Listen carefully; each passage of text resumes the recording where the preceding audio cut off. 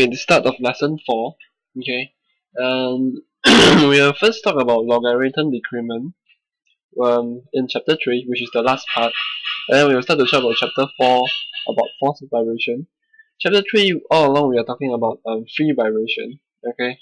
And then um, things that are so-called free vibration consists of um, the things that are so-called Okay, so for example, hold on. So at first, free vibration was actually um there's an empty mass with a spring. When you pull this mass down and you release, assuming there is no resistance, uh, assuming there is no air resistance, okay, it will just keep oscillating and oscillating and oscillating until no end, right? So we have derived we, we derive a lot of equations, the natural frequency, natural free, the natural frequency, yeah, natural frequency and such. And so, um, what is free vibration and what is damped free, damped free vibration is that free means that it let it oscillate and damp itself. Okay, so free itself it's it just oscillate, but uh, nonetheless, um, if it's a damp free, then you have okay um sorry maybe perhaps I would say that free is actually let it oscillate. Okay, free is let it oscillate. While damp free is actually um it and damp itself okay? Because you have a damper you eventually you damp out and eventually come back to the to the equilibrium. So the difference is that free vibration if you pull it down and then you release you you will keep going and going you will not you will not stop. You will not come back to this position and stop unless you have a damping system thinking that it may be some air or perhaps you have a damper over here so um, later we will talk about um, force vibration. Okay, then you will understand what. Nonetheless, uh, we should come back here again. So logarithm decrement is is related to this portion over here, free vibration and damped free vibration. And the purpose of this is actually to find the damping factor of two amplitudes using using two amplitudes actually.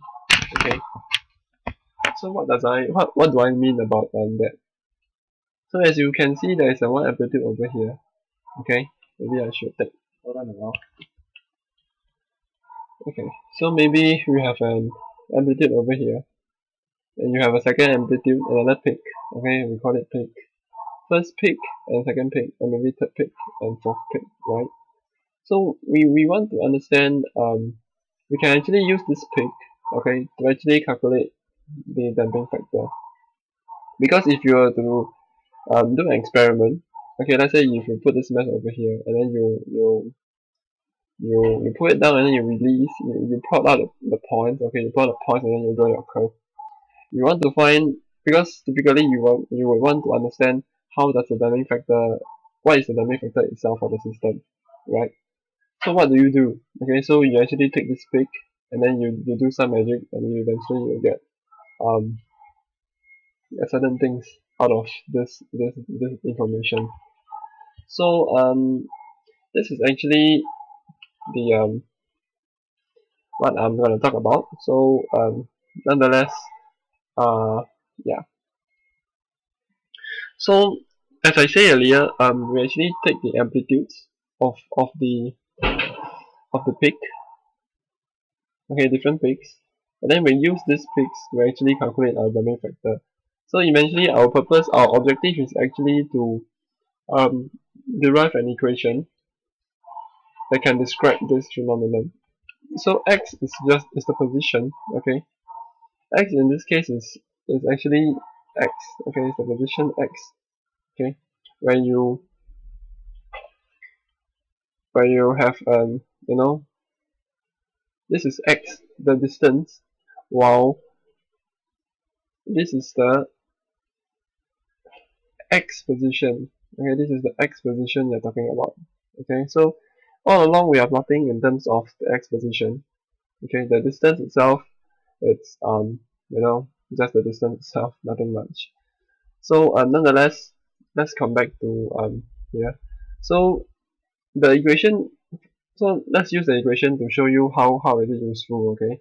So let's say you have this um, x1 okay amplitude is in terms of x1 over here. So it can be some equation, some polynomial or what. So x1 divided by xn plus 1. Okay, which is which is in which is this which is this okay so let's say you, you want n n is actually the number the number of um pick from the um the um original one so let's say this is 1 so n is actually 1 plus this one right? So this is two two picks away from this one. So this is one pick away from this one. This is two picks. The pick is not this pick but this pick. So it's, it's two picks from this one. So let's say if you have a the third pick okay maybe it's over here.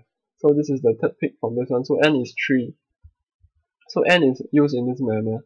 So therefore n in this case if let's say you want to find um two picks from this point which is point 3 so you just sub in 2 and then eventually you just sub in 2 into some equation because they share the same equation right? Because definitely they will share some they will share the same equation okay later you will talk about it what is the equation. So nonetheless if you sub in this this this um um you know position tree or yeah just sub in 2 and and because since it's two picks from the original one so it's x1 over x3 is equals to e2 damping factor.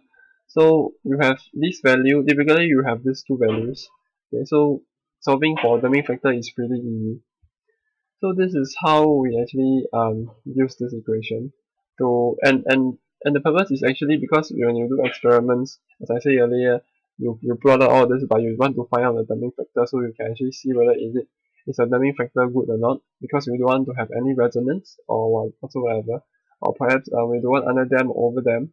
Okay, not okay so that does not actually resonance okay I, I'm sorry I didn't I shouldn't be saying that for free vibration. Free vibration do have um you know um we didn't talk about resonance.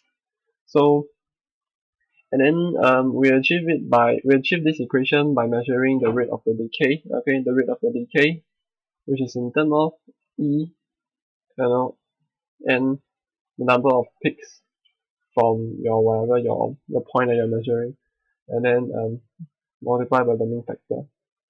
So um so this is the meaning behind logarithm decrement. I think next video I'll just talk about how to derive that equation over here okay but meanwhile I'll just do up the introduction.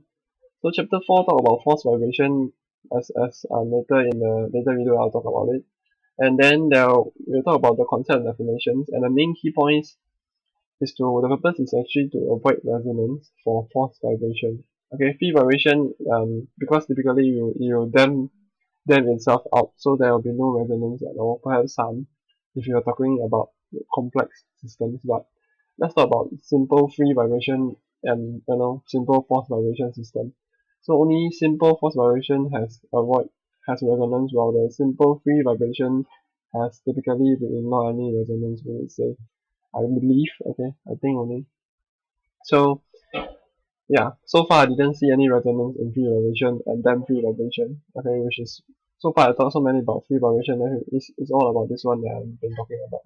Okay and then um derive equation that can predict resonance.